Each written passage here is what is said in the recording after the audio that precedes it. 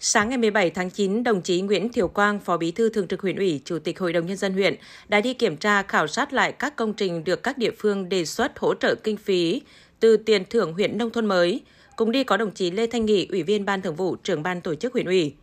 Tại xã Quang Thọ, đồng chí Phó Bí thư Thường trực huyện ủy Nguyễn Thiều Quang đã đến kiểm tra khảo sát vị trí làm nhà nổi trên hồ sen gắn làm điểm sinh hoạt cộng đồng tại thôn 5. Tiếp đó, đoàn đã đi kiểm tra khảo sát công trình xây dựng cổng chào từ đường mòn Hồ Chí Minh vào cầu Trần Đức Lương và cải tạo cụm dân cư Khe Eng, xã Hưng Minh. Đến xã Đức Bồng kiểm tra khảo sát vị trí nhà nổi hồ động gắn với điểm sinh hoạt cộng đồng tại thôn 5 đến xã Đức Hương kiểm tra khảo sát nhà nổi sinh hoạt cộng đồng Hồ Chọ Su tại thôn Hương Phố.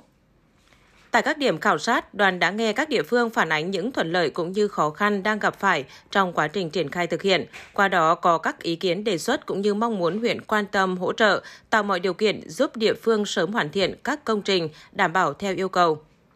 Qua kiểm tra khảo sát vị trí và nghe các địa phương báo cáo quy mô xây dựng công trình, đồng chí Nguyễn Thiểu Quang, Phó Bí thư Thường trực huyện ủy, Chủ tịch Hội đồng Nhân dân huyện, cơ bản thống nhất với vị trí, quy mô công trình mà các địa phương đề xuất hỗ trợ kinh phí từ tiền thưởng huyện nông thôn mới. Đồng chí đề nghị để công trình triển khai xây dựng đảm bảo kế hoạch đúng tiến độ, đạt mục đích ý nghĩa cao, các địa phương cần ra soát tính toán cụ thể, chi tiết cho từng hạng mục. Cùng với nguồn hỗ trợ của huyện, từ nguồn tiền thưởng huyện nông thôn mới, các địa phương cần bố trí trích nguồn ngân sách phù hợp, đồng thời linh hoạt lồng ghép huy động nguồn xã hội hóa từ các tổ chức, đơn vị và bà con nhân dân cùng chung tay thực hiện, sớm triển khai xây dựng công trình, góp phần hoàn thiện tiêu chí xã, huyện nông thôn mới nâng cao theo kế hoạch.